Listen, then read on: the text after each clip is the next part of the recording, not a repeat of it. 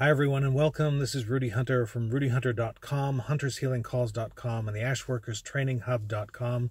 Thanks for being with me. And this is what happens when they put you in a, a large rental car. It's time for a little bit of quick woo woo. So you got to promise no driving, no operating heavy machinery while you're doing this. This is called the energetic chest wash. And no, it's not a weird porn site.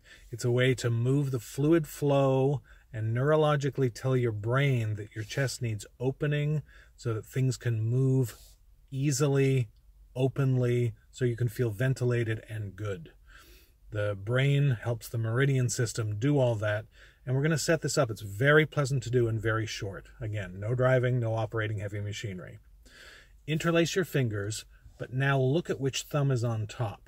If your right thumb is on top, I want you to reinterlace your fingers so your left thumb is on top, or vice versa.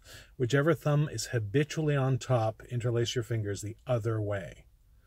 Now you're going to go into this position. It's not a stretch, so make it make really sure it's comfortable. You're going to put your interlaced fingers behind the back of your head, not down on your neck, the back of your head. You're going to rest them there gently. I'd like your eyes to gently be closed. I'm going to do some energy work for just about 30 or 40 seconds to switch everything on. Eyes closed, as long as you're safe and sound. Here we go. We'll get the energy work started right now.